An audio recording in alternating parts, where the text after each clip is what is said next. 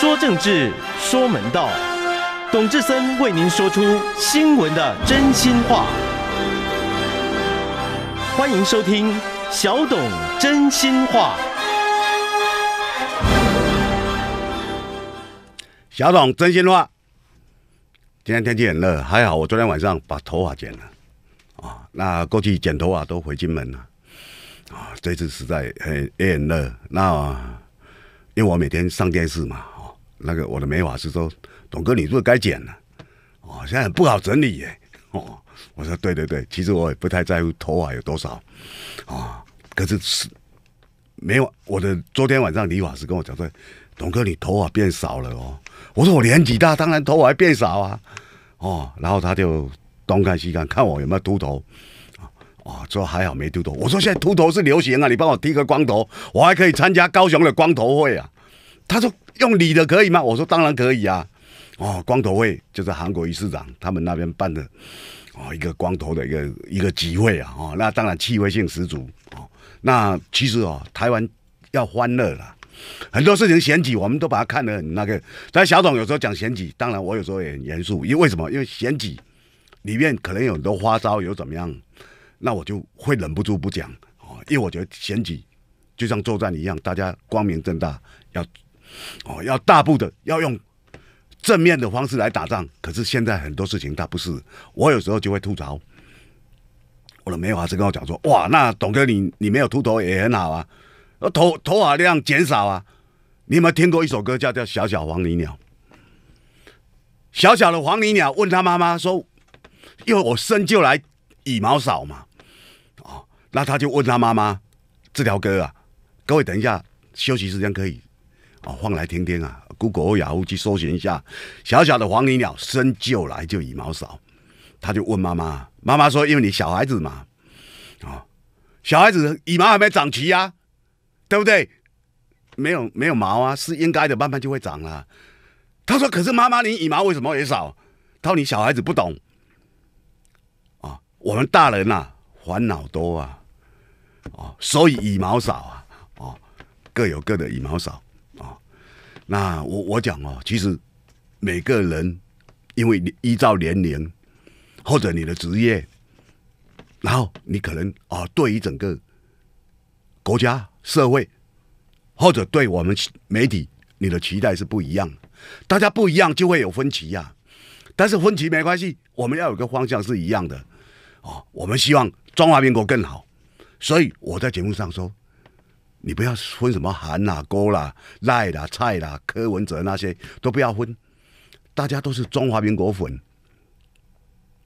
很多韩粉对我们不满，因为我呛他们，多数韩粉是垃圾嘛。我也没改变呐。韩国瑜其实最头痛的就是这些人。韩国瑜现在声势很下降。你刚刚有没有听六子九八的公布那个民调？那民调是五子家美丽岛电子报做的。你你你把它听嘛。现在柯文哲变第一了，一定很多人讲说：“哎，韩国一变第二，都被小董你们这些人去黑。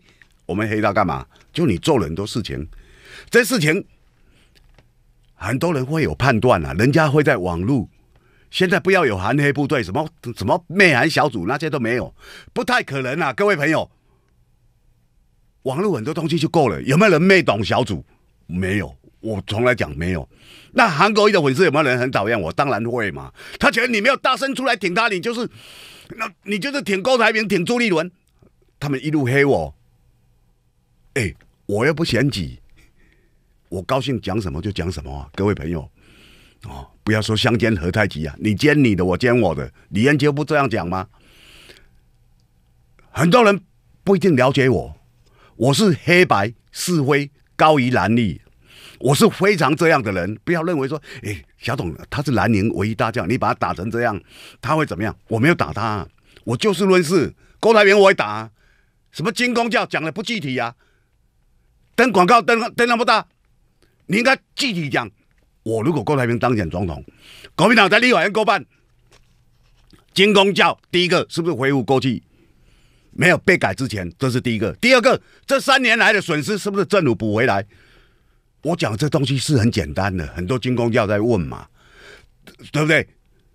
那小董讲，就就这样啊，我说很，我们很多东西赤裸裸来讲。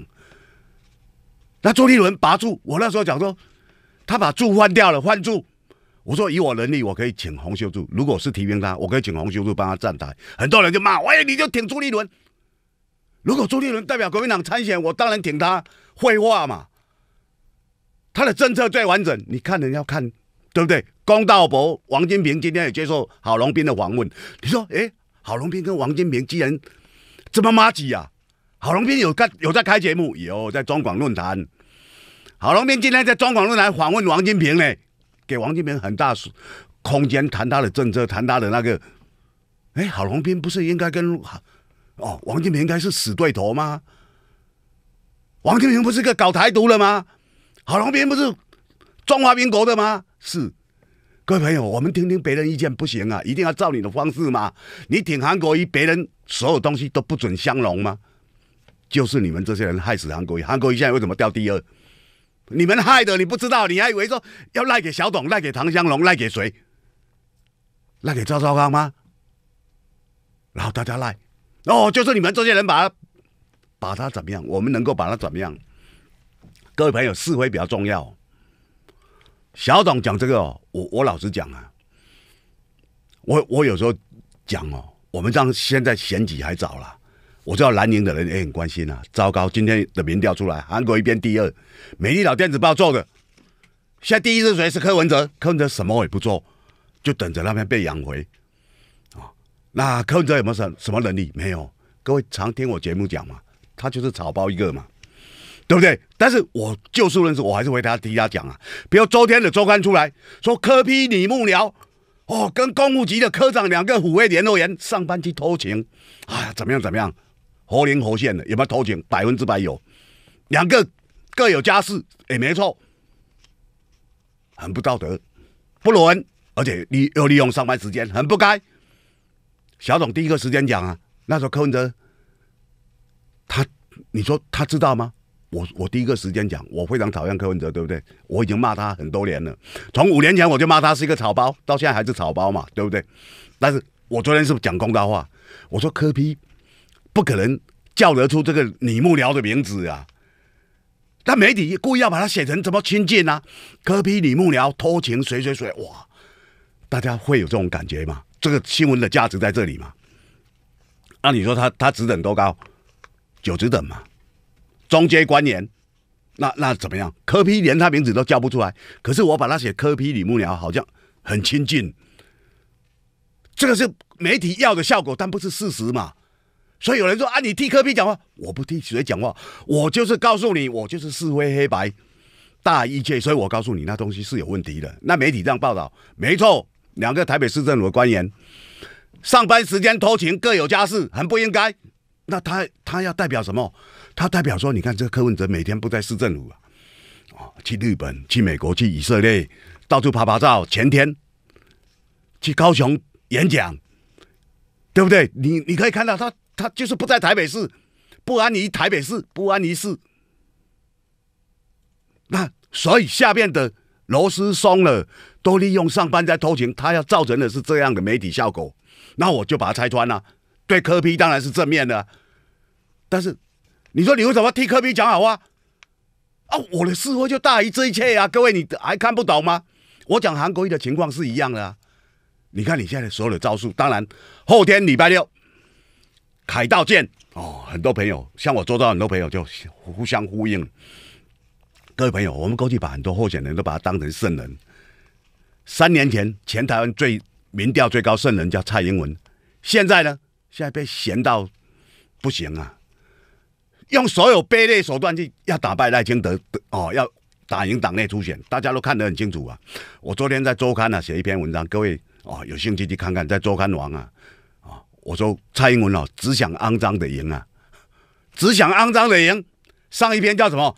蔡英文以二的距离，他现在民调一直第三，他一直要抢抢第二，可是他抢到第二。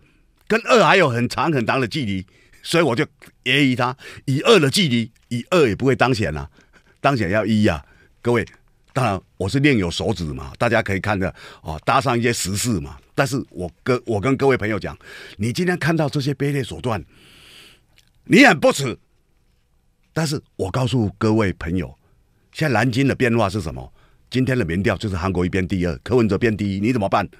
一个换头，一个草包变第一，那蓝绿在斗，他讲啊，在斗啊，你要保护韩国瑜，这个不是谁保护不保护，你知道吗？韩国瑜最大敌人是谁？是自己呀、是自己的那些韩粉嘛。那些韩粉已经把很多人都吓跑了。杨秋清接受访问，那些韩粉就在旁边喊：“韩国瑜东算哇，违规什么？”就一直干扰他。你看，我如果是一个中性选民，我看了杨秋清最后无奈笑一笑，他跟记者讲了一句话：“韩粉就是这种水准，这些账都算到韩国瑜身上，韩国瑜会当选吗？各位，党内初选他会赢吗？你就看看嘛，对不对？所以你今天看到韩国瑜自己很紧张啊，他为什么要办六一凯道？那六一凯道大卫斯，他当然赶快想说，赶快把声势弄起来啊！但是我这两天已经在点出了，就说你的年轻选票跑光了，现年轻选票跑光了，为什么柯文哲会起来？因为就跑去柯文哲那里嘛，想也知道嘛。柯文哲为什么突然赢了韩国瑜？因为那些年轻选票选票跑来呀、啊，年轻人喜欢起用，喜欢那个，对不对？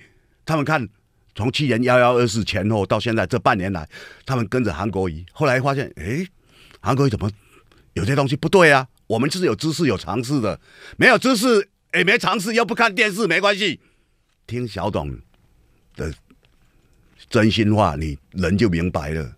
我不讲假的啦，各位，我不讲假的，我讲的东西都是真的啊，对不对？我刚看一个新闻呐、馆长陈志涵说：“哎呀，我现在后事都准备好了。”我听了就很难过啊，我又没有要对他怎么样，他吓成这样吗？他他还对人讲：“哎呀，那那董志生那小董批评我，我是懒得理他，我我劝他把身体养好。”没有人会对你怎么样，不用吓成这样。韩国瑜，我也我也跟你讲，哎，不要吓成这样，你知道吗？好吓成，哎，我民调低了，我就应该怎么样？所以我这两天在讲哦，各位朋友，你你你讲讲，你想想看啊，最近这些新闻是不是如同小董所讲的？我洞察机先，我知道问题在哪里，可是你不能用这个手法，这就是我的规劝了。哦，有内涵小组啊，有吗？还需要内涵吗？过去你的朋友很多，现在都在都在骂你啊，就就这样。过去年轻人就跑光，还要内涵吗？然后现在活灵活现，哎呀，有一个谁谁谁，哎呀，每个礼拜哦到高雄来开会，哇，所以就要怎么样怎么样，我们要如何内涵，要怎么样？各位都把很多东西想的好像很很真的很假的。我告诉你，现在要卖台哦，不用出国，你知道吗？现现大家是大家网络这么发达，对不对？各位想想看，现在要内涵，我一定要跑到高雄才能内涵吗？可有有必要吗？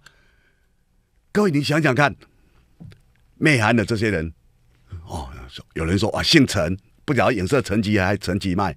我告诉各位啦，现在网络这么发达，人在走，大家想说很方便。好，台北到高雄最方便，坐高铁。现在也没有飞机嘛，你坐高铁，高铁有多少人？车站有多少人？你说我多隐秘，我坐我坐商务舱，你坐商务舱，你还是要经过月台呀、看不到吗？台北车站人来人往，大家通通不认识你吗？不要讲层级，他造型很特殊，大家一看就知道了，对不对？一定一堆人抢着跟他合照，马上 po 上网。哎呀，在台北车站碰到了菊姐，当然也有人很兴奋，就破上网了。你有没你有看到吗？你有看到他每个礼拜到高雄去吗？我不是质疑啊，我根本觉得不可能啊。我讲这样，陈其迈倒是比比较可能常回去，但是有办法到说我每个礼拜回去干嘛嘛？他回去很很很很正常嘛。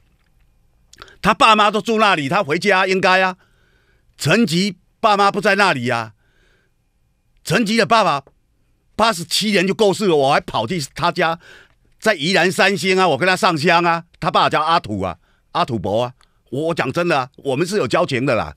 但我跟各位，我连我连年都记得了，而且我根本就不用去查什么资料，可能资料也查不到，我都可以告诉你是八十七年年初那天下大雨，我就印象很深刻嘛。我从台北跑去耶，但是我不是要说我跟他交情，因为陈吉现在哦名声也不好了，你跟他搭上交情也没什么样。但是我要告诉各位，我们哦做政治的人哦，你要想想看，你做政治人做多少年？我们当记者人当多少年？但很多东西你要留着让别人来评断。韩国现在很多策略是错的，媚韩小组是错的，媚韩小组后他就开始有动作了，对不对？就像我这两天所讲的，你的动作，动作。动作你你你可以操作，可以怎么样？选举难免有些操作，可是不能操作到被人家看破手脚啊！有人潜入市场，是，这是合理吗？他喂，你看，哎呀，还进去换电池，哇，好离谱哦！跟跟你讲，你有常识人，哎，为什么七天七次？哎呀，叫换电池，你听了真好笑。第一个，请问你有没有在那里上班？你没有在那里上班，别人为什么要监听那里？大家都知道你不没有在那里上班啊。你对外公开表示你没有在那里上班，你在凤山嘛？是 不是？他干嘛去市委中心呢？市委是在高雄市啊。各位，你这第一个道理，大家都会想嘛，说那你这硬凹嘛，对不对？说你看有人就这样了。小董，我讲很多人，其实他可能第一个时间没有想到，二月一号第五次进去被抓到了，他去了五次，第五次。二一要被抓到，就像我想的，五月二十七第一次媒体报道了，已经经过一百多天了，然后大家就很生气，哎呀，偷听窃听怎么样怎么样？我说不可能啊，我不是要替对方开脱了，我说怎么可能呢？那二一要你们抓到了以后，是不是在高雄市警察局手上？是不是你的部署李永奎市长？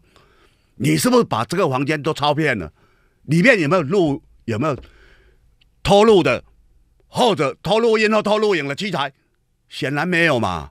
各位显然没有嘛？有早就公布了，而且他是交到你警察局的手上，现在的市长室也在你手上，你怎么可能一百多天查不出来？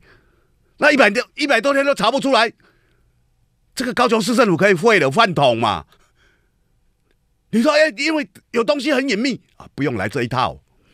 我我真的讲了，你。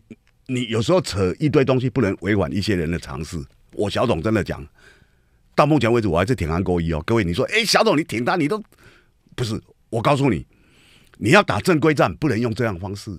这方式，人家会说你在自导自演，这戳破了，你知道吗？你办公室有多大？一万平吗？不可能嘛，最多一百平啊。我们一般人的办公室多少？像我现在的录音间哦，老实讲，也不过三五平啊。比窗之鸟还大很多啦，但是它也不太大。可是如果台北有人有一个这样的大的办公室，那已经已经不得了了。谁的办公室有一百平？全台湾谁的办公室有一百平？一百平，我们我们全家四口、五口、六口，我们买的房子也不够三十平啊。各位，你想想多大嘛？啊，就算你房子一百平，你查了一百多天查不出来，所以里面有有一定有监视的。你看。七天来一次，哦，那就对不对？那那就来换电池。好，电池拿出来给我看啊！哎呀，到现在来换电池，好啊。那哪一个东西需要电池？你拿出来啊！各位，人家都有尝试，你知道吗？你这样子伤害自己，我不骗你。就大家刚开始会说：“哎，对哦，一定要来，要来偷偷要干嘛？水文案嘛，对不对？一定会这样讲。可是这个是伤害，这笨透了，你知道吗？然后第二个。现在要说说出来了，公文哦被拿走，韩国瑜自己讲了。现在你再看一看公文有没有被拿走？没有被拿走，这个是什么案子啊？李长龙化工，李长龙化工那时候高雄大气爆，高雄市政府说你你有问题哦，要求他签了一个债权的凭证，万一将来要赔偿，你这些东西你不能给我动，就两笔土地，这两笔土地啊二十三亿多了，一笔在新竹，一笔在。高雄嘛，那这个凭证是一个不能讲是公文，就是一个凭证，我签出来，将来要赔，我至少这两笔土地我可以抵押来赔，哦，就是这个意思而已啊。韩国瑜说公文被拿走了，没有啊，没有拿走啊，你把那前因后果看一看，发现这个是开玩笑嘛？啊，为什么塑造成这样？各位，媚韩小组来了，各位，有人都偷装我的窃听器，对不对？现在呢？前朝陈吉政府居然连高雄市政府的三二十三亿六千万的那个凭据都要拿走，要收起来，要图利李长龙。各位，这不合理，不合理到极致。我说，我为什么讲说，你很多东西哦，像小董讲新闻，很多人不一定同意我，但是第一个我讲的东西要真嘛，然后我再来评断这个是怎么样怎么样。我们用推理、用分析、用怎么样哦前因后果来讲。所以，我譬如说，像昨天我碰到一个来上我们节目的医生，那医生哇，小董，我欣赏你，你很多观点不不不同意，但是你讲的东西有条有理嘛，你当然是要用这样来评论。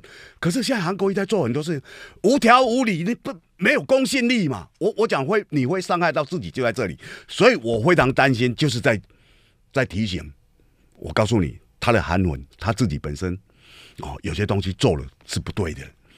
这样你就会耗损嘛，年轻人就会跑掉，哦，因为年轻人喜欢摇摆，他喜欢摇摆，看谁比较怎么样就过去了。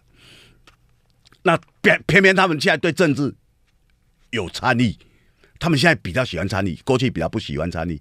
现在参与是怎么样？因为他在网络上，他可以跟人家讨论，跟人家乱讲哦。当然，他们很多观念是错的。那我奉劝他们哦，多听我节目。不管你喜不喜欢我，因为看我节目或听我节目的人，很多人是很讨厌我，可是他们崇拜我在哪里？因为我讲东西有条有理。小董你好恶心，你自己讲自己，人家在崇拜你，因为我讲有条有理啊。就像李豪所讲的，很多骂我的人心里为我供了牌位。我小董你太恶心，太恶心了，没错。但是我讲东西有没有道理？大家仔细来分析，你不必要多高的学士、多高的学历，完全不需要。你只要讲，对啊，太简单了。你说有窃听器，那二一号到现在这一间教这一间办公室现在还在你手上哎，别人也进不去，你应该翻天覆地都找出来了，为什么没有拿窃听器出来给大家看？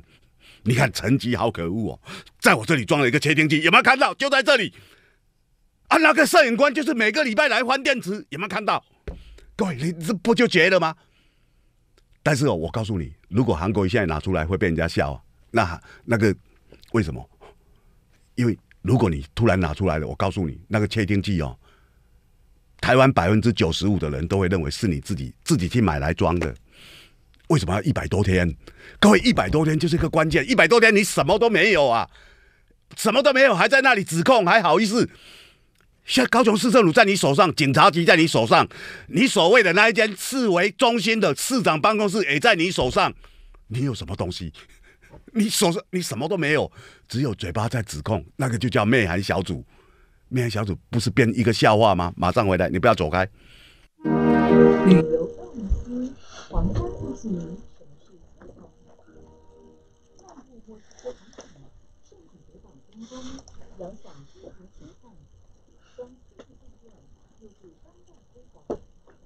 哥来的时候是太阳大太阳，太阳好大，真的，嗯，很热。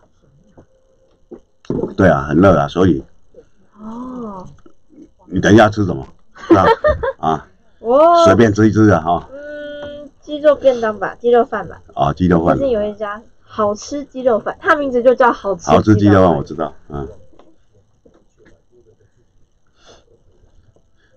就夏天，其实我们。我是没吃过，我我每天经过看我们那回转寿司啊，这里有回转寿司在街对街鲜吗？啊，真鲜那边哈，他真鲜他卖的东西还蛮清爽的啦。哦，夏天很适，因为对，可是要马上吃，对，它是凉，它是比较日本式的弄饭啊，或者生鱼片弄饭啊，就这一些。对，对我看他天气热，生意都不错，对，啊，有时候就不好。冬天的时候可能对啊，比较不会想吃。对，冬天就想吃他隔壁那家水煎包。哦，对。对啊，那水煎包刚开的时候，我经过他一直叫我买，我说 我不行，我我因为他说十个送多少个嘛。哦。我说不行，太多了，是分人家吃，人家想说你怪怪的，你干嘛在分人家吃？对他刚开幕有有在做活，有在促销了。对。他也是，他有好几家分店，其实他的水煎包也还不错。还不错。对啊，嗯，啊，水煎包天气热，因为水煎包跟一般包子不一样，就是下面是，因为它是煎的，是脆的嘛，对，是脆，所以它好吃在那里。对。哦。好。好，回来了。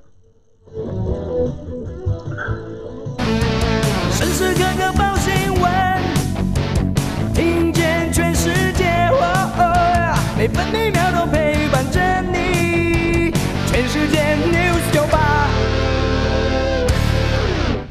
欢迎回到小董真心话。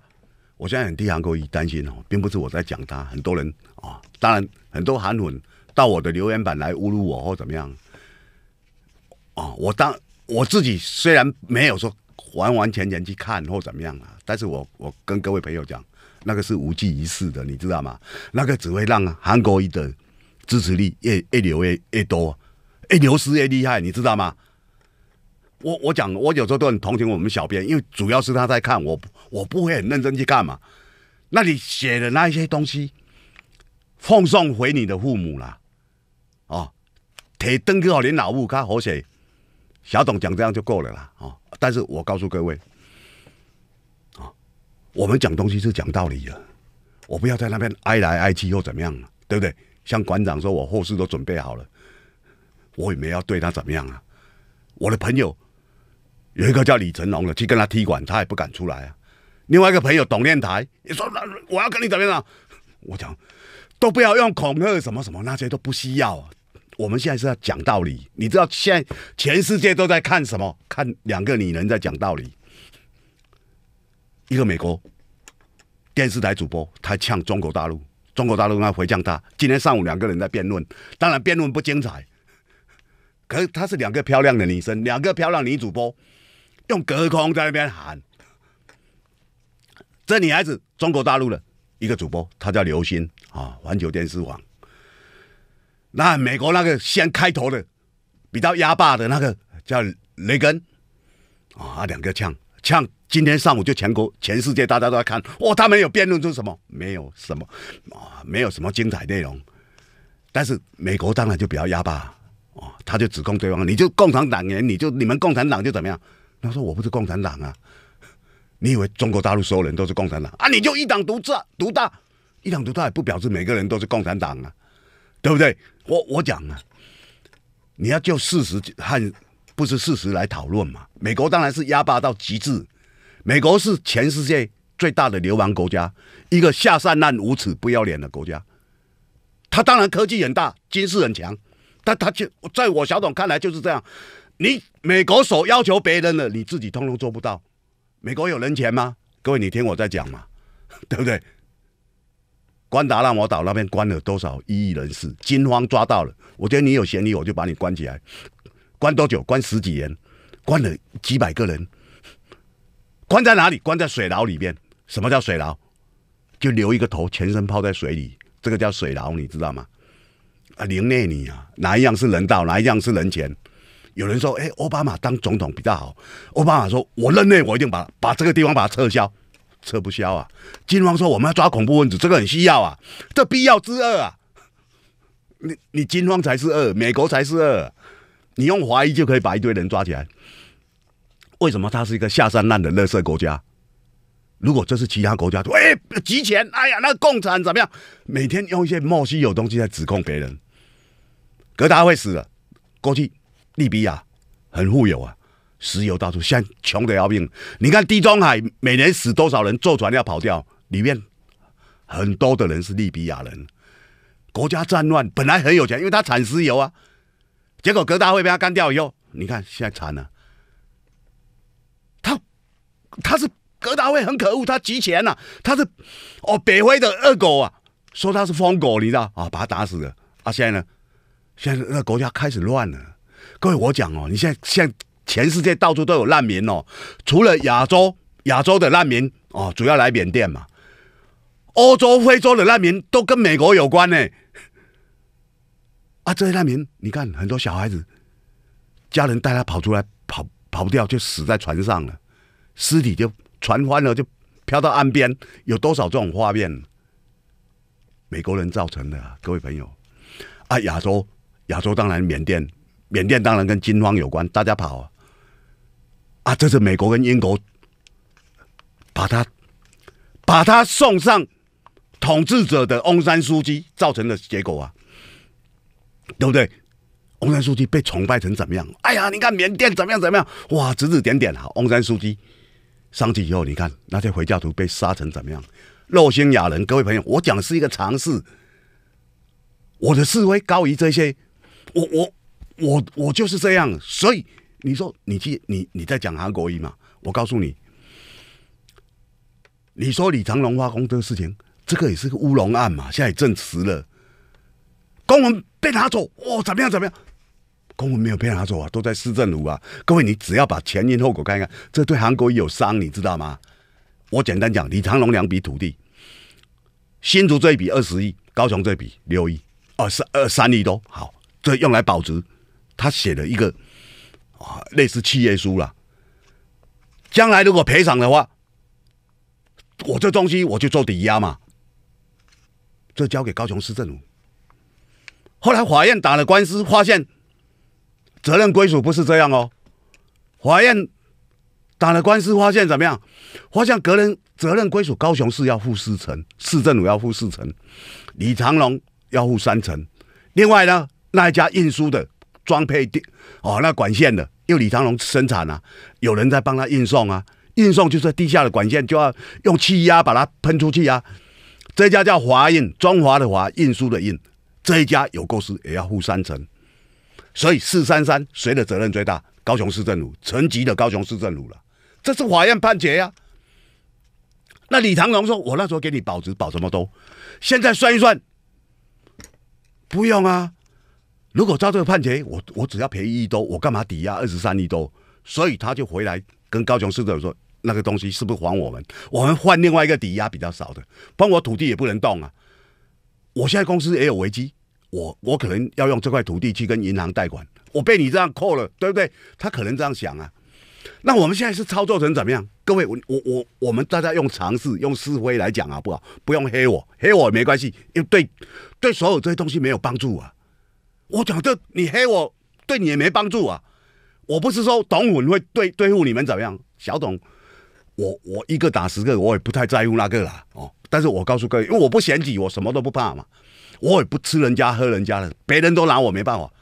为什么？因为我只在乎思维，但是我要分析给各位听啊。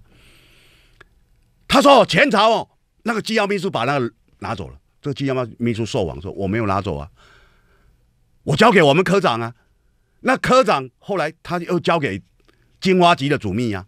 那这些他交给主秘，我并不知道。我交给科长了，就是一张哦，这个凭证嘛，这个凭证也不是公文呐，哦。”也不是说公文就有文号，这个不是公文，就这个凭证，哦，就好像我签一个切结书，我将来就要怎么样怎么样，哦，那如果将来打官司你不承认，我切结书拿出来，当初你有签啊，对不对？你法院你就打输了，你自己都签字了，你怎么可以不承认？哦，这是这是一个这样的凭证，那凭证就是两块土地，哦，用来做将来赔偿，也怕你偷产嘛，所以这两块别人就不能动了，哦，那它的过程是这样，但是我我要跟各位朋友讲。公文没有被偷走，公文没有离开高雄市政府，这是事实啊。那你现在要黑他说，哇，你看，把那个对我们有利的东西都偷偷拿走，你是要营造这样吗？但是你要有点法律常识，呃，或者你随便问个律师，这东西你如果真的搞丢了，再写一份就好啊，因为他不会消失，你知道吗？他不会消失啊。第二个，请问他拿走这一份干嘛？他身上就拥有二十三亿多啊。他拿去银行，拿去拿去拍卖，拿去哪个就有二十三亿。那一张他拿走是废纸嘛？没有用啊。那一张就是李长龙跟高雄市政府保证的嘛。那他唯一有用的一个用途怎么样？拿去给李长龙，哎，这个对你们不利的东西，我偷偷还你们呐，对不对？你把它销毁，过去的那就不保证啊。各位有那么简单吗？这东西很多人认证的，不是只有只有陈吉跟李长龙的老板。两个人的在在场哎，不是啊，他都已经认证了。好，那我讲这个哦，他的不合理在哪里？他的不合理在，他如果真的把它拿走，拿走是指拿离开高雄市政府这一张，唯一有好处就是李长龙，对不对？因为他可能这样设想嘛，李长龙应该赶快把它销毁，但是没有啊，为什么没有？因为李长龙并不知道这件事情啊。唯一能够图利李长龙，李长龙自己不知道，为什么不知道？乔董，你凭什么说他不知道？因为他回来高雄市政府申请，我我这保值二十三亿太多了。我其实如果照法院判决，我只要赔一两亿啊。如果照你们是申请要求我赔的，我最多也赔六亿。可是我不需不需要用二十三亿多来保值，我希望能换一张。那表示什么？表示李长龙不知情啊。他如果知情，他偷笑啊。你们根本没有那一张，你那一张已经被我们派密探、派我们的内绝把它偷出来了，对不对？各位朋友，我讲的是一个常常识的推理呀。现在高雄市政府，韩国瑜市长讲，哦，公文被前朝人这样偷偷带走，你这是一个指控。但现在敢这样讲吗？到今天为止，到小董现在在讲这样，敢这样讲吗？不敢。那你人家就讲哇，你你这是随便讲，对他有没有伤害？伤害很大嘛。各位，我在讲了，为什么呢？可能很多始终安稳，他们可能年纪大一点。他讲哦，只有韩国也可以捍卫中华民国，小董也要捍卫中华民国啊！我要捍卫啊！馆长陈志汉在骂我说：“哎，我在我。”我都反台独，你怎么讲我是台独？那你的做法就是台独啊！赖清德说我是台独啊，但是我保护中华民国，我哎主张台独，哎保卫中华民国啊！赖清德这样讲，赖清德是不是台独？当然是啊！馆长是不是？当然也是啊！只是你们嘴巴在讲，赖清德说他最保护中华民国，因为只有主张台独才能保护中华民国。这赖清德讲话，各位都可以 Google 然后把它搜寻出来讲，你听了哈哈大笑。你知道中华民国从什么来的？从国务推翻呢？满清哎，他已经一百零八年了呢。那那请问这台独，你要你要台独什么？原来你的台独就是中华民国，那那还搞什么台独？这些都是假的。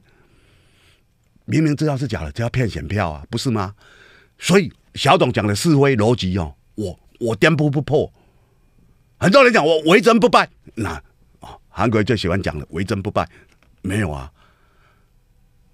没有，没有真呐！我我老实讲，这个就很吃亏，你知道吗？我们欣赏韩国语，光明磊落，汉子一条，对不对？秃子也是汉子。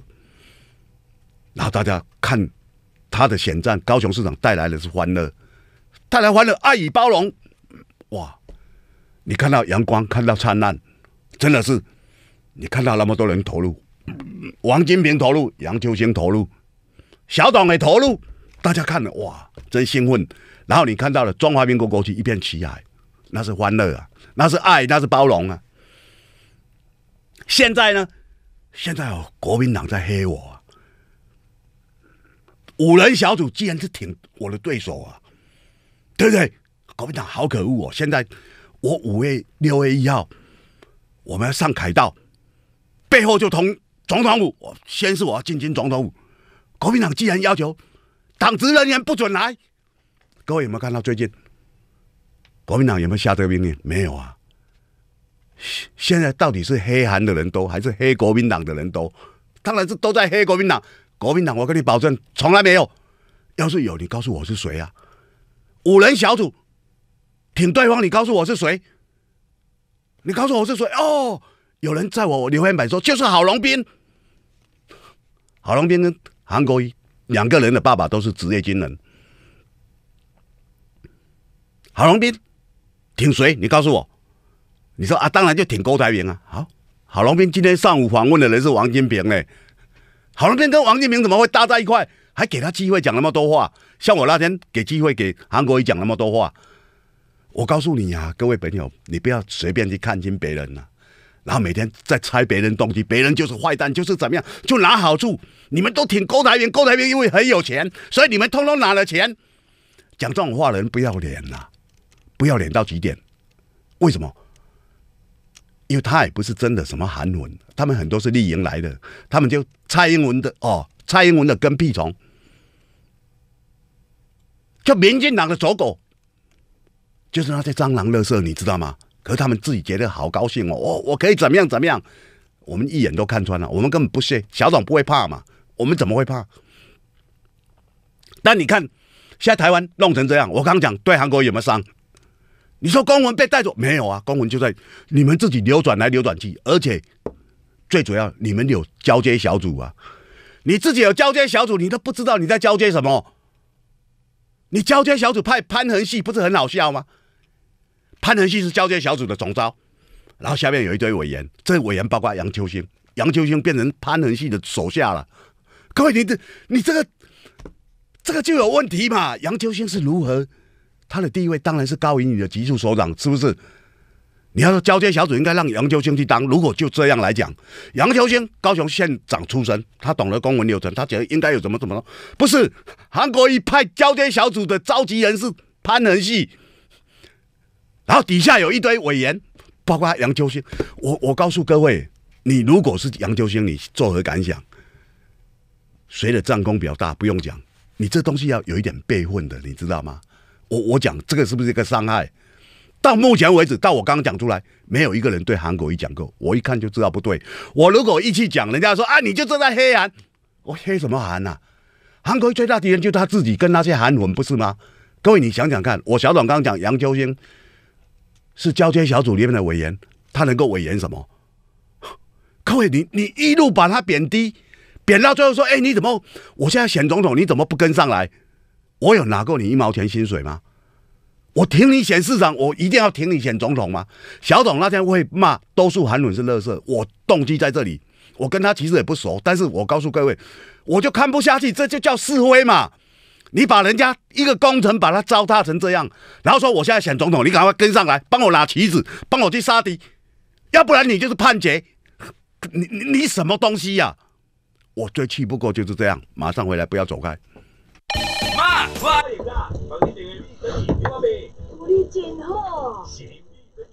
刚看两个哦，然后不敢打断。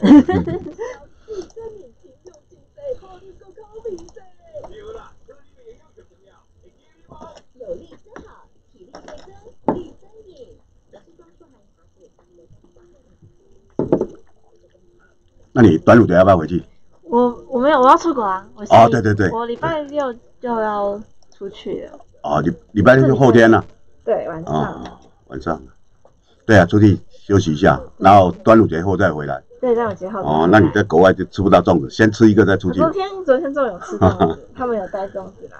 你们吃那个南部粽还是北部粽？南部粽吧。啊，其实其实像像我，我喜欢吃南部粽，还有湖州粽，就是我跟你讲，像枕头那样湖州粽，里面就一条肉。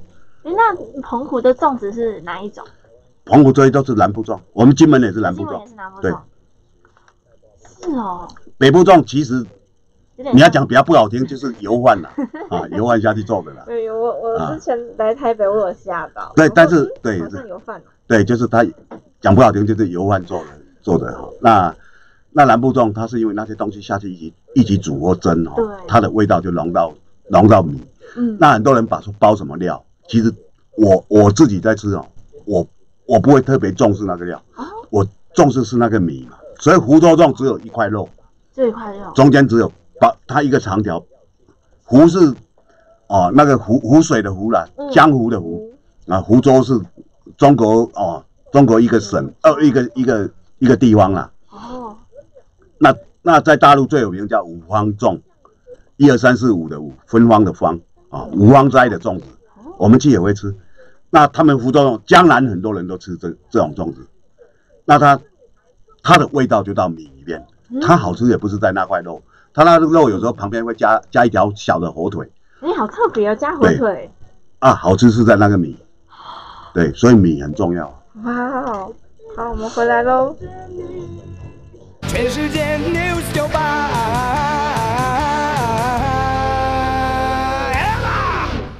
欢迎回到小董真心话。小董当记者，我我算啊。当很久，认识很多人了，啊，那我看很多人，啊，他地位一下很高，他就目空一切，他可能事情太多，或者可能他被变成被少数人包围，他不晓得自己的情况，然后人一下子就迷失了，哦，这个是很严重的，你知道吗？那迷失了很多东西，你就看不到了。然后另外一个就是你有成见，你有成见哦，你就你觉得啊，他就是怎么样，所以这个人就坏人，我就不跟他往来。小董哦，我当记者开始也是这样，后来我当久了，我发现每个人都有他的优点，每个人也都有他的缺点。那当然，你有一个中心，哦，这个中心就是我自己的价值在哪里，我很清楚，我随时要握住这个普世价值，它就是是非了。所以我在讲东西哦，各位不要认为说啊，小董那个就是蓝营的名嘴，蓝的我照批啊，我不会放手啊！我我也很诚恳的告诉各位啊，现在台湾最大不幸就是民进党在执政，蔡英文在执政，赖清德今天上午接受访问了，他们昨天中执会强行第一个市化跟住宅啊各百分之五十。共识节啊？什么叫共识节？就现场没有表决，中执会就通过了。其实有人反对，这个人叫林进宪嘛，他代表赖清德。他说：“我为什么不要求表决？因为第一个表决我们会输，第二个主席希望不要表决。主席说如果一表决我就走。哦，卓龙泰，那他想说一定输，让主席走也不好，所以他宁愿说好，那共识节，但是请留下我的记录，我里面的发言记录。赖清德呢？赖清德今天上午接受访问，他说我不满意。”但我只好接受，各位朋友，我告诉我的观察，市话，家里住宅的电话叫市话，是我们过去民调的基础。家里接到电话，谁谁谁怎么样？现在呢，把百分之五十的手机纳入，它的最大盲点是什么？那表示百分之五十的人没有市话，对不对？要不然比手机的比例怎么这么大？啊，不可能嘛！百分之五十的人没有市话。就住宅没有电话，不可不太可能嘛？哦，大概可能百分之二十。